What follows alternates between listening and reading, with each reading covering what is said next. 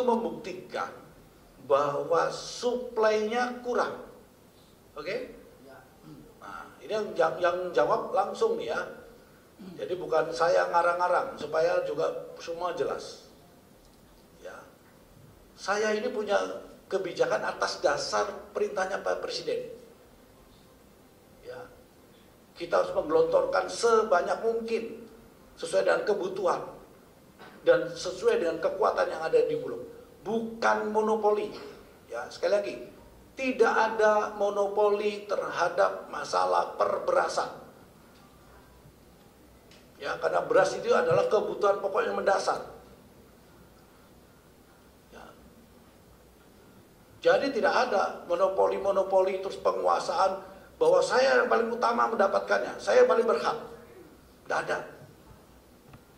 Setiap pedagang beras berhak mendapatkan dengan harga murah. Saya melepasnya dengan rata-rata harga 8.300 biar teman-teman wartawan tahu. Beras yang saya lepas sekarang itu beras impor yang notabene-nya broken 5, jadi premium. Dijualnya 8.300 Seharusnya dengan 8.300 sampai ke konsumen ya 9.000 lah paling mahal. Tapi yang terjadi apa? Ya, harganya tetap tinggi. Kenapa? Saya sudah ngikuti semua. Kemarin saya pancing, begitu saya ikuti. Jangan dikira saya nggak ngikuti. Ya, ternyata para pedagang-pedagang ini mendapatkannya dengan harga mahal. Bagaimana dia mau jual murah? Ya, karena dia belinya juga mahal. Ya, oleh sebab itu saya nggak mau lagi sekarang. Makanya saya undang ini pengusaha langsung baca sebanyak-banyaknya. Siapa yang mau beli, saya buka. Tidak ada koordinator-koordinatoran. Ya, nggak ada mafia-mafia. Ngapain pakai kumpul-kumpulin pedagang diintimidasi? Jangan dipikir saya tidak tahu. Ada rekamannya semua. Siapa yang hadir saya juga tahu. Di mana tempatnya saya tahu. Ya.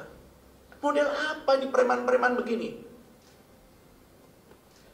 Masalah beras urusan perut masyarakat dipakai mainan. Jangan merasa hebat. Jagoan. Pakai ngancam-ngancam. Apa ini? Negara sudah pakai ancam-ancaman. Ya, berani ngancam negara lagi. Model mana?